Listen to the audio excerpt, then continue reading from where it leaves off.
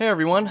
Last time, we discussed the main events throughout the Haibara arc. This video is my third installment in my Detective Conan in a Nutshell series, so if you haven't seen parts 1 and 2, I highly recommend watching those before this one. As Haibara's introductory arc comes to a close, we enter the Vermouth arc, whose narrative becomes more streamlined using the substantial world building previously established as its basis. This is the first section of the show that truly feels compartmentalized into its own arc story, and it's a masterfully elaborate one at that. Spanning files 243 to 437 in the manga, there is much to dissect and unpack as these character stories unfold. Now, without further ado, let's pull back the curtain and let the show begin.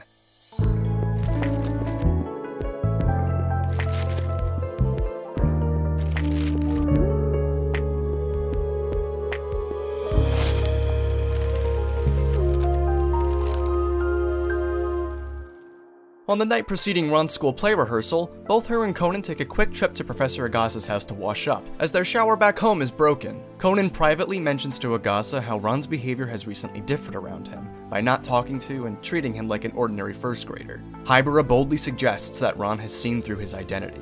As she retreats to the basement, she is seen working with multiple floppy disks, one of them visibly damaged, presumably from the incident at the Haido City Hotel. While on a camping trip with Professor Agasa, the detective boys' curiosity quickly gets the best of them as they spot a group of bank robbers disposing of a corpse within a limestone cavern. In the midst of the panic, Conan is shot in the stomach and is later admitted to Baker General Hospital after the culprits were taken into custody. Due to his immense blood loss and the hospital's lack of available blood supply, Ran suggests donating her own to save his life. With undeniable confidence, she claims she has the same blood type as him. Both Conan and Haibara acknowledge this, and as the doctors begin their procedure, Ran anxiously sits in the waiting room, praying for Shinichi's recovery. With Conan thankfully pulling through, 10 days later, Ran and Sonoko are discussing their upcoming school festival and play while visiting him in the hospital. Sonoko explains that Dr. Araide, who is also the school's doctor and substitute basketball coach, decided to help with the play's production by taking the male lead of the Black Cloak Knight. Conan exhibits jealousy since Ran and Dr. Araide both share a lead role and are scripted to exchange a kiss. Heiji then pays Conan a hospital visit and shares his suspicions regarding Ran knowing his true identity.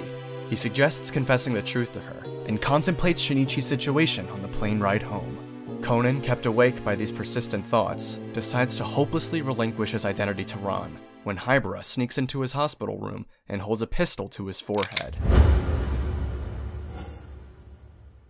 Proving to be a fake weapon, she proposes an ultimatum in order for him to evade this risky situation. Flash forward to the school festival's play. The Black Cloak Knight makes his entrance and longingly embraces Ran in his arms. In the audience, a man resembling Shinichi takes a seat next to a confused Conan. As Ran and the knight are about to kiss, a blood-curdling scream is heard from the audience as a man collapses to the floor.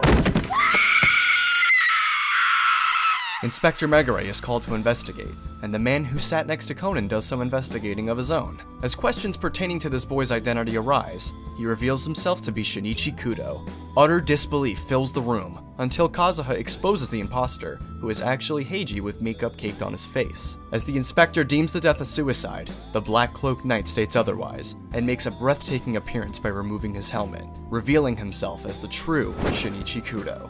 Shinichi solves the murder mystery, while Heiji and Ran are dumbfounded since Conan and Shinichi are present in the same room. Tailing the case's resolution, Shinichi collapses to the ground in pain. His body is suffering the excruciating transformative effects from an APTX-4869 antidote Haibara created and supplied him with while in the hospital. As he now awaits his imminent return to the body of a child, he fades out of consciousness, desperately clinging onto a normal body.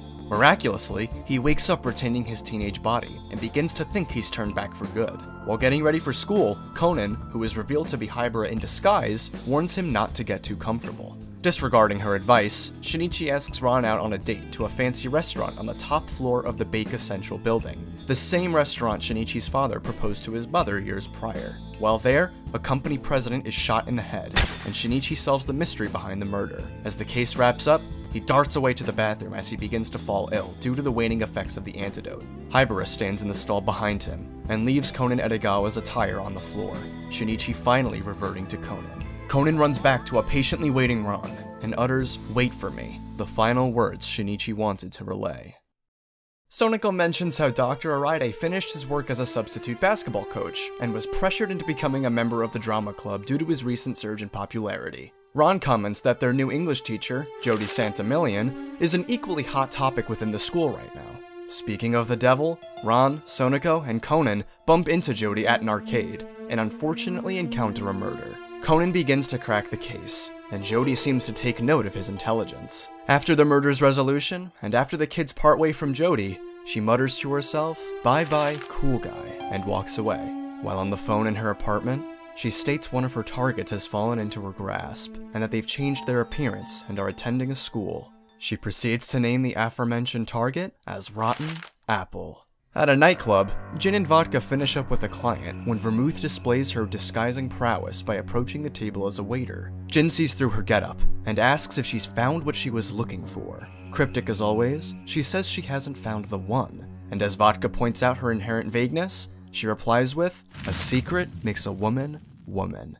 On their way to a skiing trip, Professor Agasa and the detective boys are caught in a bus hijacking incident along with Dr. Araide and Jodie. Haibara, who is shaken to her core as she believes Vermouth has boarded the bus, switches seats with Conan and hides within her seat. From the two people who hijacked the bus, Conan believes one of the three mysterious passengers in the back is an additional accomplice. As one of the busjackers points a gun at Conan's head, Dr. Araide leaps into action to defend him, saying a mere curious child shouldn't be killed. As Dr. Araide and one of the potential accomplices are called to the front as per the hijacker's request, Conan subtly asks Jodie for her lipstick, having a plan up his sleeve. The narrative then switches to third person, as Vermouth asks herself, where can lipstick bring us? And encourages Cool Guy to show his magic. Conan outsmarts the hijackers and identifies the third accomplice. As the bus comes to a screeching halt, Jodie swiftly takes down one of the hijackers, demonstrating her combative abilities, contradicting the front she presents. She says the term, a secret makes a woman woman, in response to the man she just took down, furiously asking who she is. With the bus slated to blow up in 30 seconds, everyone evacuates except for Haibara, who stays behind with the intention of killing herself to break the only tie Conan and everyone has to the organization. Conan grabs Haibara's arm and busts through the windshield, escaping the explosion by seconds. As the case concludes, one of the passengers from the back of the bus is seen speaking into a recorder, saying their target didn't appear, and that he'll continue investigating at a later date. This man is known as Shuichi Akai. Speaking of Shuichi Akai, Ran incidentally sees him in passing at an arranged marriage hall, yet can't quite remember where she has seen him from. Ran, Sonoko, Conan, and Dr. Araide are at this marriage hall eavesdropping on the dramatic and undesired omiai between Officers Miwako Sato and Ninzaburo Shiratori. To Officer Takagi's relief, the arrangement falls through, and Sato acknowledges the romantic feelings she has towards Takagi. After viewing a circus show with Professor Agasa, the detective boys run into a foreigner named James Black. He's unfortunately mixed up with a kidnapping, and Conan and the kids take it upon themselves to save him. In passing, Shuichi drives his truck past them, and Haibara makes a notable reaction to his presence. With the available clues James left, the kids manage to find him, and the kidnappers are arrested. James is then seen after the incident having a conversation with Shuichi in Shuichi's truck. In the midst of another case, Takagi informs Conan that all of Kogoro's Tokyo-based case files were stolen on the day of the busjacking, and have since been returned. Shuichi Akai is the suspect that comes to mind, as Conan contemplates whether or not Kogoro himself is the target of the theft. Later that night, Shuichi watches the detective agency from across the street. Ran cannot seem to shake the thought of Shuichi, as his presence evokes a vague sense of familiarity, Lost in thought one day in class, Jodie snaps her out of it by inquiring about the mysterious X symbol on the board. To her embarrassment, Ran fails to give a satisfactory answer, and Jodie encourages her to think about it for the next class. After school, Ran, Sonoko, Conan, and Jodie meet at a mall cafe, where Jodie has a query about any suspicious harassers in the area. Their conversation is interrupted when a blackout causes sudden panic throughout the mall. Conan discovers the victim of a stabbing, and an investigation begins. Jodie again demonstrates a semblance of intellect by subtly nudging Conan or Cool Kid in the right direction by referencing American staples such as the Pentagon, the White House, the Oval Office, and the FBI. With Jodie's insightful hints, Conan solves the mystery behind the stabbing, and the case is closed. Ran's persistent efforts to deduce the meaning of X lead her to sending an email to Shinichi with XXX as the closer. Not before wishing them a safe farewell, Jodie parts ways with her students, and with a quick glance back, she asks herself if it is almost time to pick the apple. In a dark apartment, Vermouth composes a message addressed to Gin, closed with XXX. She is the one to reveal the meaning of X as both a kiss and a sign of hatred. With her target on lock, she viciously throws a dart across the room, striking a dartboard with Sherry's image plastered over the bullseye.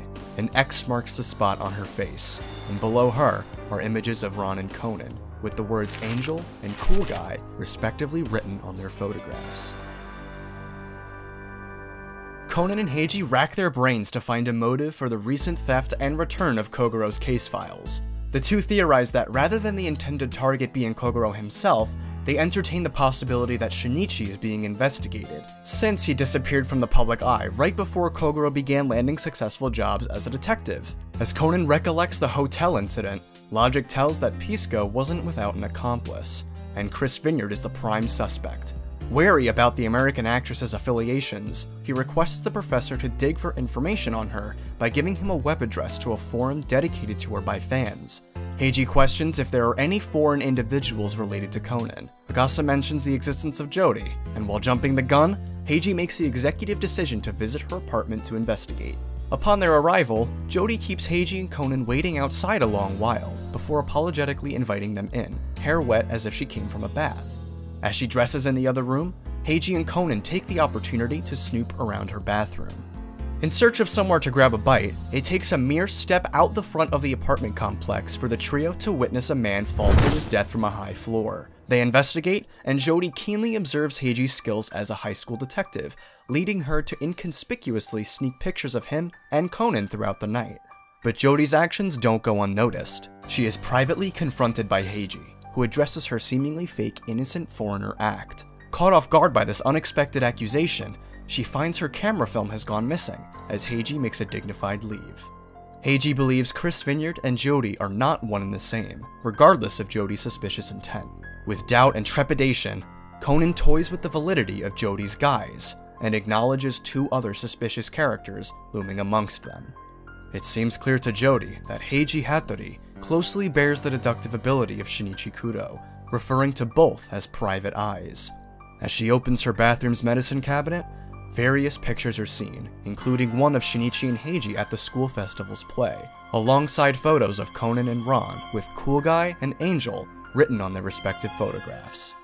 After watching a soccer game with the professor and the detective boys, Conan decides to touch base with the professor about the info on Chris Vineyard's web forum. Agasa says the first time Chris Vineyard was seen in the public eye was during her mother, Sharon Vineyard's, funeral one year ago. With greedy reporters asking distasteful questions about her private life, she replies with, A secret makes a woman, woman, with a smile on her face. Caught on one of the cameras, yet with their identity unknown, a famous Japanese actress is seen amongst the funeral attendants. With no tangible evidence to link Chris Vineyard to the men in black, Conan knows he'll be up against a dangerous foe if his suspicions are correct with the single word God triggering flashbacks of Sharon Vineyard, Shuichi Akai, and Shinichi to resonate within a feverishly delusional Ran. She collapses and dreams of the important yet traumatic experiences she had in New York City over a year ago. While waiting outside the Phantom Theater to watch the musical The Golden Apple, Shinichi, his mom Yukiko, and Ran run into the famous actress Sharon Vineyard. Ran gleefully thanks God for the opportunity to meet such a famous figure, as Sharon appears visibly disgusted by the mention of God, she asks if such an entity really exists, as no angel has ever smiled upon her. Since Sharon and Yukiko are great friends, due to both of them learning disguising techniques from Kaito Kid's magician father, Sharon allows Yukiko and the kids to enter backstage to meet the cast before the show. Walking around backstage, a suit of armor falls and nearly kills one of the actresses, but is saved due to Ran's instinctive actions. Sharon gives Ran her handkerchief as a thank you, and bids Yukiko and everyone farewell. While the musical is underway, one of the leads is shot and killed mid-performance. With the help of Shinichi, the investigators wrap up the case and arrest the perpetrator, who was the actress Ran saved earlier. With an off-kilter attitude, she calls Ran a sweet angel and thanks her for helping her carry out the murder. As they exit the theater, Yukiko warns Shinichi and Ran of a Japanese serial killer with long hair and urges them to check into a hotel while she goes to the police station for questioning. Mid taxi ride, Sharon's handkerchief is swept out of Ran's hands by the wind, so they stop to find it. Shinichi spots it caught on the fire escape of an abandoned building, so he tells Ran to wait in the taxi as he fetches it. Caught up with her emotions about Sharon's words and the recent actions of the murderer she saved, Ran barely has enough time to react when a large man with long hair suddenly approaches her in the alleyway. Ran is paralyzed by fear, unable to move. The man approaches closer and asks if she's seen a suspicious Japanese man with long silver hair. Replying with a timid no, he demands her to leave immediately, as the serial killer is still roaming the streets. She then runs into the abandoned building with hopes of finding Shinichi. While climbing the stairs on the fire escape, a wounded man fitting the description of the serial killer appears before her. The killer tells Ran to blame God for getting her into this situation, as he readies his gun to silence her. The rusty railing the killer was leaning on suddenly breaks, and he begins to fall to his death as Ran jumps into action by grabbing him. Shinichi helps in pulling him up. Asking why they would save a killer, Shinichi responds with, a reason isn't necessary while helping someone who needs it. Sharon and Yukiko are on the phone the following morning, where Sharon tells Yukiko to relay a message to Ran, saying that angels do indeed exist. Ran's fever finally breaks, and she wakes up in the hospital, realizing it was that case in New York where she began developing feelings for Shinichi romantically. Additionally, that long haired man she encountered in the alleyway was actually Shuichi Akai, and after some deep thought, she recalls that he is a member of the FBI.